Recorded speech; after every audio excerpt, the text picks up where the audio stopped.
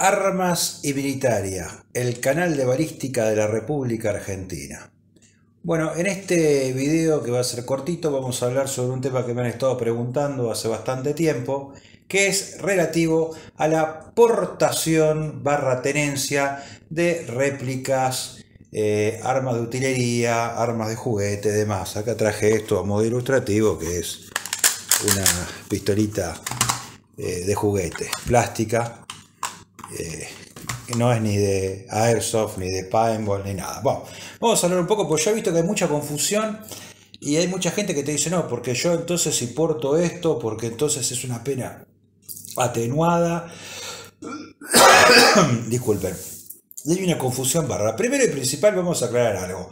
Las armas de aire y gas comprimido las réplicas, que son una categoría especial dentro de las armas de utilería, que vamos a hacer un video específico un día, y todas las armas de utilería, que es este tipo de cosas, están excluidas de la ley de armas de la República Argentina. Están excluidas, ¿se entiende? Un rifle de comprimido, un rifle de gas comprimido está excluido. No, pero este es un rifle de gas comprimido que tiene la potencia de los cañones de una, del acorazado Iowa.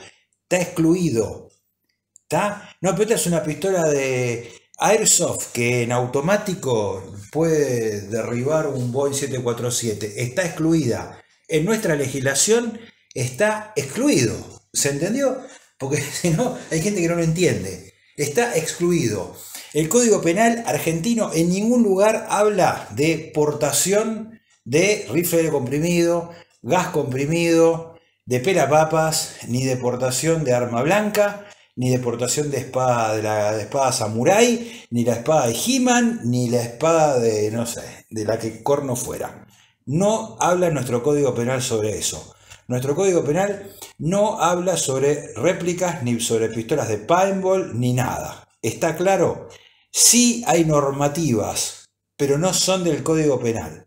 Sí tenemos normativas en los códigos de faltas provinciales. Por ejemplo, Ciudad de Buenos Aires, Cava, a modo de ejemplo, vamos a dar. Artículo 102, 102, 102, artículo 102. Mal redactado, como casi todo el código de falta de la Ciudad de Buenos Aires. habla de armas no convencionales.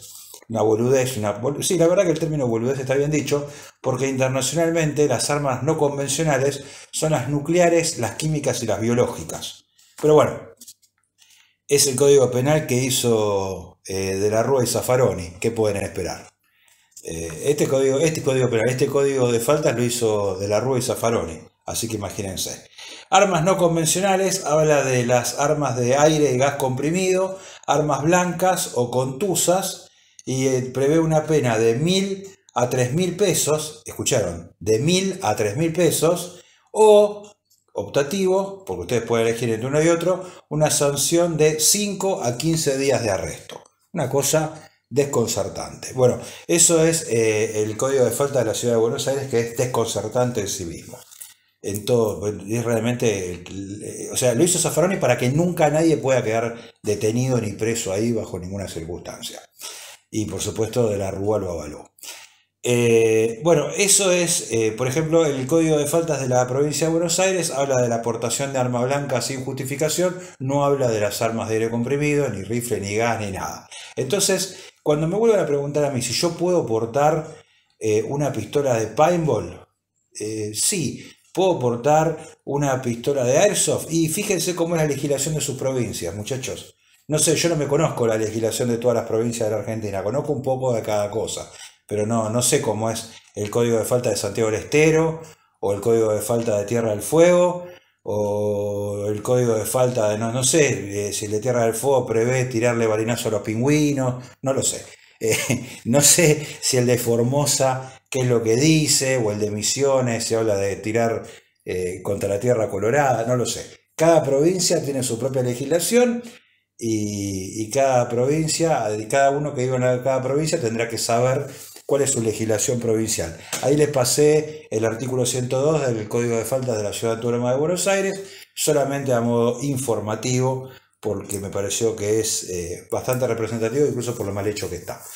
Así que, para resumir, si ustedes portan una pistola de airsoft, eh, no es delito penal Pregunta, si ustedes roban, amenazan a alguien para robar, y sí, sería, sí, eh, depende, hay varias visiones jurisprudenciales, pero como lo que se evalúa es el poder de vulneración que tiene, el poder de vulneración, eh, lo más probable es que sea tomado como robo con armas.